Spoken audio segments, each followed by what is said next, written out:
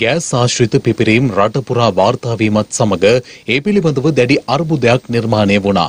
එම සිද්ධි සිදුවන තුරුම මෙරට තුළ ගෑස් සංයුතිය පිළිබඳ නිසි අවධානයක් කිසිදු රජයක් යොමු කර තිබුණේ නැති අතර එය පරීක්ෂා කිරීමේ වැඩපිළිවෙලක්ද තිබුණේ නැහැ. සමාගම් කපටි ලෙස නිකුත් කරන ඕනම ජරාවක් අපේ පාරිභෝගිකයින්ට ගන්න සිද්ධ වුණා. නමුත් දැන් මේ පිළිබඳව රජයේ ඇස් ඇරිලා. ඒ වැසුණු ඇස් අරින්න රාජ්‍ය අමාත්‍ය ලසන්ත අලගේවන්න මහතා කැපවීමෙන් කටයුතු කළා. ඔහු දිගින් දිගටම සමාගම් වලට චෝදනා කළා. සමාගම් මෙම ක්‍රියාවේදී කපටි සහගත ලෙස හැසිරුණු බව රාජ්‍ය අමාත්‍යවරයා පැවසුවා. එමෙන්ම සමාගම් ගෑස්වල සංයුතිය වෙනස් කර ඇති බවත් ඔහු ප්‍රකාශ කළා. ගෑස් පිපිරීම් ගැන හොයන්න ජනාධිපති ගෝඨාභය රාජපක්ෂ මහතා පත් කළ කමිටුවද ගෑස් සමාගම් වරදක් කර ඇති බව නිවේදනයක් මගින් පෙන්වා දුන්නා.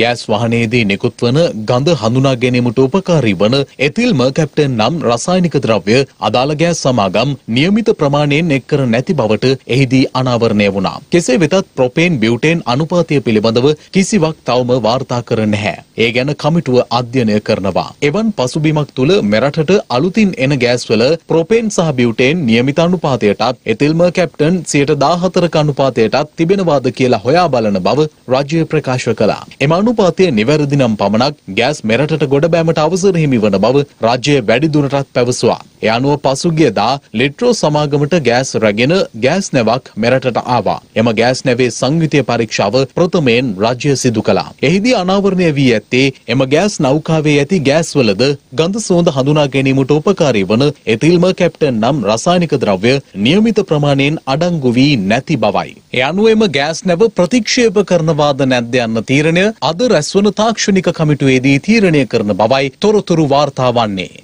මේ අතර එතිල් මර්කැප්ටන් රසායනික ද්‍රව්‍ය සියයට දාහතරක් ලෙස ඉහළ දමනතුරු ගෘහස්ත ගෑස් බෙදා හැරීම නවතා දමන ලෙසට රජ්‍ය ලාෆ් සහ ලිට්‍රෝ සමාගම් වලට නියෝග කළා. ඒ අනුව ලිට්‍රෝ සමාගම ප්‍රකාශ කළේ ගෘහස්ත ගෑස් සිලින්ඩර් නිකුත් කිරීම නවතා දමා ඇති බවයි. එමෙන්ම පසුගියදා ගෑස් ආශ්‍රිත පිපිරීමකින් කුණ්ඩසාලේ ප්‍රදේශයේ 53 හැවරදි කාන්තාවක මිය ගියා. එම කාන්තාවගේ ඥාතීන් ප්‍රකාශ කළේ එම සිදුවීම මුල් කරගනිමින් ලිට්‍රෝ සමාගමට එරෙහිව නඩු දමන බවයි. එම කාන්තාව පමණක් නොව මෙරට ගෑස් ආශ්‍රිත පිපිරීම් වලින් තුවාල ලැබුවන් බොහෝ පිරිසක් ඉන්නවා. එමෙන්ම භාණ්ඩවලට හානිවීම්ද බොහෝ වාර්තා වුණා. ඔවුන් සියලු දෙනාටද අදාළ සමාගම් වලට එරෙහිව නඩු මගට යා හැකි බව මහාචාර්ය ප්‍රතිභා මහනාම හේවා සියත සමග පසුගිය දිනක ප්‍රකාශ කළා. මේ අතර පාරිභෝගික කටයුතු පිළිබඳ අධිකාරියද මේ පිළිබඳව ගත හැකි උපරිම ක්‍රියාමාර්ග සමාගම් වලට එරෙහිව ගන්නා බව පවසනවා. එමෙන්ම ලබන සතියේ අදාළ සමාගම් වලට එරෙහිව නඩු මගට පිවිසෙන බවද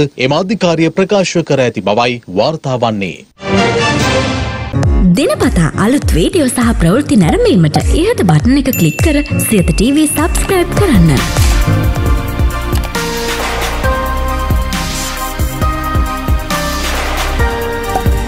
අලුත් වීඩියෝ ගැන මුලින්ම දැනගන්න මෙම සීනුව ක්ලික් කරන්න.